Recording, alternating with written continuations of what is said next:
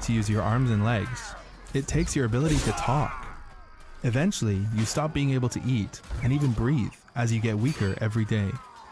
Show me a mother that can remain calm while their beloved child gets weaker and weaker, closer to the grave with each passing day.